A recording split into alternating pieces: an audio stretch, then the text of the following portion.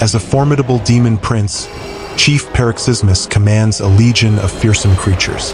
Among his ranks are plague beast lords, poison elementals, and acid elementals. Yet, these are not the only dangers that lurk within the dungeon. Further into the depths, you will also encounter Balrons, succubi, and the sinister interred Grizzle. The waves of enemies become more deadly the deeper you venture into the dungeon. The Palace of Paroxysmus is located west of the city of Papua in the Lost Lands, accessible in both facets. To even gain entry, you must possess an acid-proof rope. Only the most prepared and courageous adventurers will be able to withstand the trials that lie ahead. Those brave enough to explore this treacherous dungeon must enter through a massive sinkhole, venturing into winding passageways lined with grotesquely deformed, acid-corroded stone. Rivers of acid must be crossed at certain points, posing a significant threat to explorers. One of the key challenges within the palace is facing the putrefier, a neon green Balron that spawns in the westernmost part of the dungeon. This formidable foe is not only visually striking but also deadly. Defeating the putrefier is essential, as it drops the spleen of the putrefier, one of the four keys required to summon and confront the chief himself.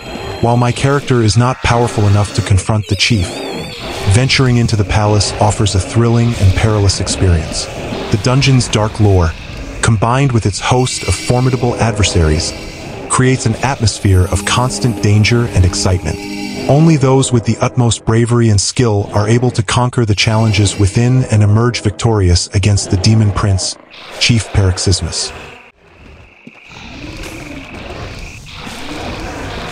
Build I'm using is a variation of the Summoner class, swapping out meditation for poisoning.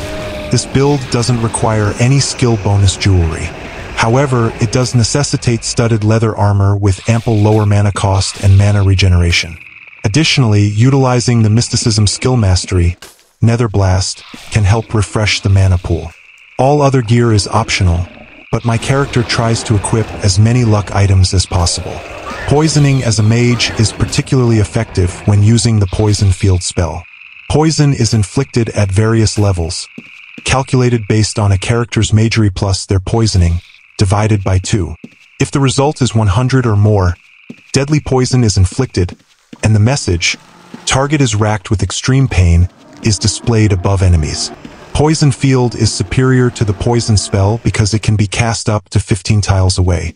The poison level does not diminish at this range, lasts for up to 50 seconds, and covers an area of 5 tiles in a row.